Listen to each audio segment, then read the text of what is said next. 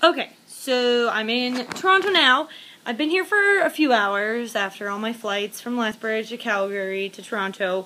And I got wined and dined tonight. I got taken out. That was really nice. Um, and I got back to the hotel room after a little tour of downtown Toronto to show me where I'm going to go and how I'm going to get there.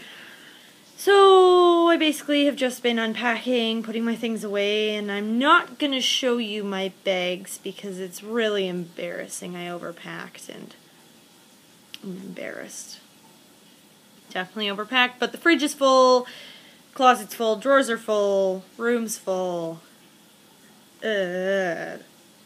Ugh. So this is my first date update, I guess. Um, my room's really nice. I got a bed and I got a couch and got a microwave and a fridge, but most importantly, besides, you know, the amenities like a toilet and a shower and a sink and all that kind of stuff, I got a jacuzzi.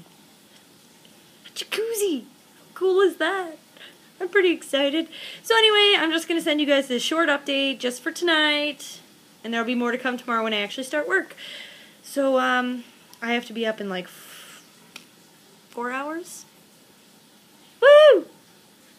Gonna go to bed now. See you tomorrow.